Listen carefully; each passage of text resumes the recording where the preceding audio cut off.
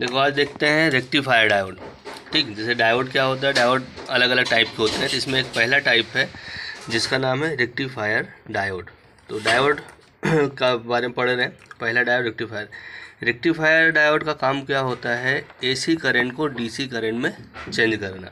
ठीक है? और ये जो है हर पावर सप्लाई में या हर जगह पे लगा होता है जहाँ पे एसी को डीसी में कन्वर्ट करना होता है। जैसे अब देखो ये मॉनिटर पावर सप्लाई है। तो इसमें भी लगे होते हैं डायोड इस तरीके से दिखाई देंगे आपके। ठीक है? ये इस तरीके से दिखाई देंगे। तो जिनका काम क्या होगा? एसी करंट को डीसी करंट में कन्वर्ट करना। अब ये अलग अलग टाइप के आते हैं पैकेज में आते हैं, कैसे आते हैं? सबसे पहले रेक्टिफायर डायोड का क्या होता है? सिम्बॉल से पहचाना जाता है। मतलब जितने भी डायोड होंगे या जो भी कंपोनेंट होंगे, सब एक सिंबल से पहचाने जाएँगे। तो ये रेक्टिफायर डायोड का सिंबल है। सर्किट में इसको डी से रिप्रेजेंट किया जाता है। और डायोड में क्या होता है? दो पिन होती है, एक को एनोड और दूसरे को कैथोड नाम से जानते हैं और सिंबल से उसकी पहचान की जाएगी।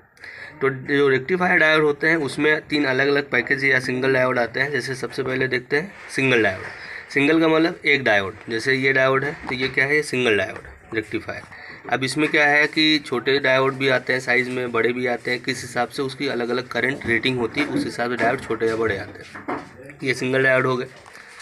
डबल डायोड डबल डायोड में क्या है? दो तरह के डबल डायोड आते हैं। एक आता है कॉमन एनोड और दूसरा आता है कॉमन कैथोड ठीक है? कॉमन एनोड कॉमन कैथोड मतलब डबल का मतलब दो डायोड तो दो डायोड में सबसे पहले अगर देखें कॉमन एनोड ठीक है? तो एनोड में क्या होता है कि डायोड कैसा दिखेगा? देखने में ये ऐसा दिखेगा जैसे ये आपको दिख रहा है। ठीक है? उसके ऊपर जो सिम्बॉल बने रहते हैं उनको देख के हम पहचानते हैं कि वो कॉमन एनोड टाइप है या कॉमन कैथोड टाइप है। अब ये जो डायोड है अगर हम इसके में ध्यान से देखें तो इसके ऊपर जो सिंबल बना हुआ है इसके दोनों डायोड के एनोड जो है आपस में जुड़े हुए हैं। और अंदर में डायोड जो होते हैं वो इसके अंदर वो इस तरीके से आपस में जुड़े होते हैं। जिनमें दोनों डायोड के एनोड जो होते हैं आपस में जुड़े होते हैं। और इसमें सप्लाई कैसे देते हैं कि इस पॉइंट में एसी देंगे इस पॉइंट में एसी सप्लाई देंगे फेस न्यूट्रल तो इन दोनों कॉमन एनोड से क्या होगा माइनस डीसी सप्लाई जो होगी वो आउट होगी फुल वेव की। ठीक? उसी तरीके से common cathode common cathode diode में क्या होगा? वो इस टाइप से दिखेगा, जैसे ये डायोड हम देख रहे हैं तो इसमें सिंबल अगर आप देखें तो सेम इसी तरीके से बना हुआ दोनों डायोड के कैथोड आपस में जुड़े हुए हैं। ठीक है? और इसका इंटरनल जो होता है, वो इस तरीके से दो डायोड लगे होते हैं, दोनों डायोड का कैथोड आपस में जुड़ा हुआ है। और यहाँ पे एसी सप्लाई देंगे, यहाँ पे एसी सप्लाई देंगे तो ये कैथोड से पॉजिटिव डीसी सप्लाई क्या करेगा? ये आउट करेगा। ठीक? तो ये जो है सिंगल डायोड मतलब सिंगल है और ये डबल डायोड। इसी तरीके से इस डायोड का क्या आता है, पैकेज भी आता है, जिसको हम क्या बोलते हैं, ब्रिज डायोड या ब्रिज पैकेज।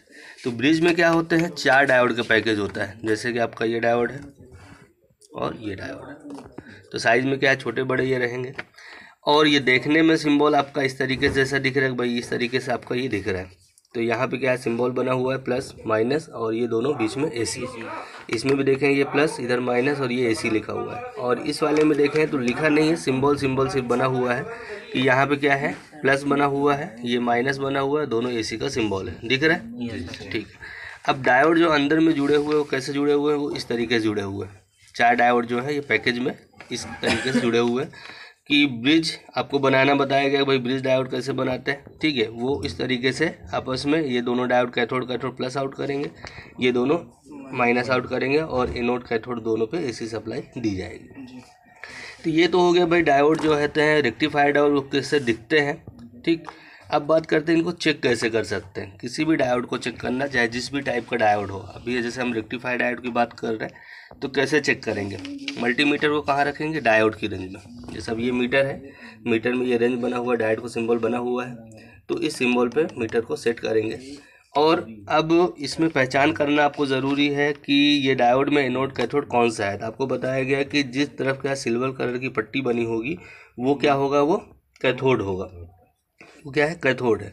तो चेक करने के लिए क्या करना है? मीटर को सेट करें और रेड वायर को डायोड के एनोड पर रखें और ब्लैक वायर को कैथोड पर रखें। तो मीटर क्या है? वैल्यू शो करेगा। अब वायर को आपस में चेंज कर दें तो मीटर कुछ भी वैल्यू शो नहीं करेगा। अगर ऐसा हो रहा है तो ये डायोड आपका सही है। ठीक? फिर से सुन लो। रेड वायर को डायोड के एनोड पे और ब्लैक वायर को कैथोड पे लगाएँगे तो मीटर क्या है? वैल्यू शो करेगा। और वायर को आपस में चेंज कर देंगे मीटर कुछ भी वैल्यू शो नहीं करना चाहिए ठीक है? तो डायोड आपका सही है। जैसे अगर इसको देखें तो रेड वायर एनोड पे ब्लैक वायर कैथोड पे देखो क्या वैल्यू दिखा रहा है? ज़ीरो ठीक है? अब अगर वायर आपस में चेंज कर रहे हैं तो भी वैल्यू क्या दिखा रहा है? ज़ीरो तो इसका मतलब इसका डायोड को जंक्शन जो है वो क्या हो गया है? वो शॉर्ट हो चुका है।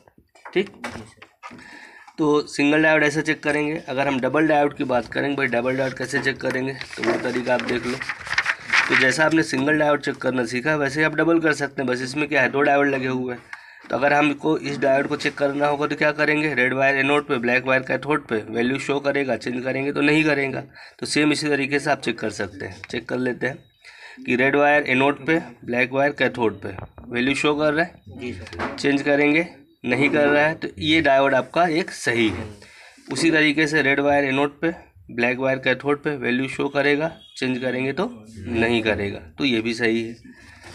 और पैकेज भी इसी तरीके से चेक कर सकते हैं, आप डायोड के जो पैकेज होते हैं।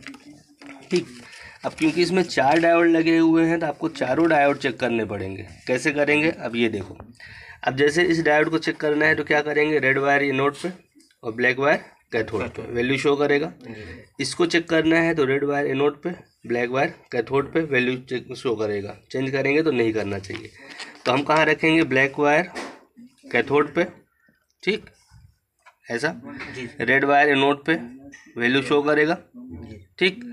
मतलब ये डायोड अभी हम चेक कर रहे हैं। दूसरा चेक करना है तो रेड वायर आपका यहाँ एनोड पे ब्लैक वायर कैथोड पे red wire anode black cathode value show करेगा। अब वायर को आपस में चेंज करेंगे तो वैल्यू शो नहीं करना चाहिए। तो इसका मतलब अगर ऐसा हो रहा है तो ये दोनों डायोड आपके सही है। फिर ये दोनों चेक करना है तो रेड वायर कहाँ रखेंगे? एनोड पे, और ब्लैक वायर इसके कैथोड पे ये चेक होगा, और यहाँ रखेंगे तो ये डायोड चेक होगा। तो ये रखते हैं रेड वायर को इनोट पे, ब्लैक वायर ये कैथोड पे, और फिर ब्लैक वायर ये कैथोड पे। ठीक? वैल्यू शो कर रहा है, चेंज करेंगे तो शो नहीं करेगा। तो ये सही कंडीशन है। और अगर मान लो इसमें से कोई एक डायोड ख़राब रहेगा तो वो क्या करेगा? वैल्यू आपका बिल्कुल बजर शो करेगा या नहीं करेगा? जैसे कि एग्जांपल में देखो ये ये क्या हो गया? ज़ीरो तो मतलब ये पहला डायोड आपका क्या है? ये शॉर्ट दूसरा, ये भी शॉर्ट ठीक? तो इस तरीके से आप चेक कर सकते हैं कि डायोड जो है, आपका रेक्टिफायर डायोड जो है, वो सही है, ख़राब देखो इसमें एक डायोड शो कर रहा है, दूसरा ज़ीरो हो गया। ना? तो क्योंकि ये डायोड आपका सही है और दूसरा क्या है वो शॉर्ट हो गया है। अब इसको अगर चेक करें तो एक सही है उधर और दूसरा भी सही है। मतलब ये इसमें से तीन डायोड सही है एक दो और तीन। और ये अकेला क्या है शॉर्ट हो गया तो उस कंडीशन में भी आपको क्या करना पड़ेगा इसको चेंज करके दूसरा लगाना पड़ेगा जहाँ भी ये लगा हुआ है।